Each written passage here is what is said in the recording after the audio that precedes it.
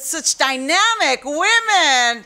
Thank you so much. I want us to remember that something that we all know women play a pivotal role in the California economy.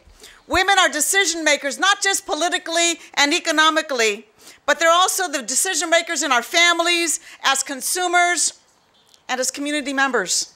As women, we are keenly aware of the pervasive culture that fails to value and protect women, a culture that lives in darkness and fear.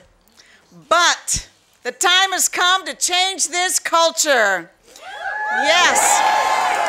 The time has come to acknowledge the struggles faced by women in the workplace and society. The time has come to change attitudes, to speak out, to come and demand accountability. The time has come to break the silence and bring transparency. The time must be given to victims, not to the perpetrators. The, pe the perpetrators must know that time's up. This is why I introduced AB 1870, the SHARE Act. The Stop Harassment and Reporting Extension Act, also known as the SHARE Act, will allow victims of harassment in both workplace and related to housing accommodations more time to bring their claims forward by extending the current one-year statute of limitations to three years. The law will now protect the victims.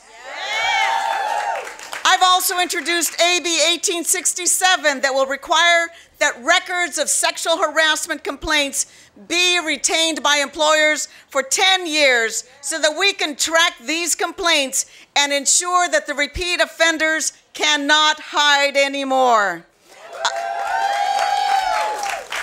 the conversations of today and the change against the culture of sexual harassment are happening because of the bravery of those who stepped forward to say, we said enough. We're going to continue to move forward to ensure that the silence that has been broken never returns again.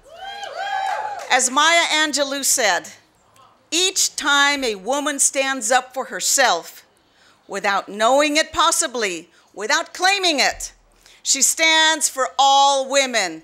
Por todas las mujeres, adelante.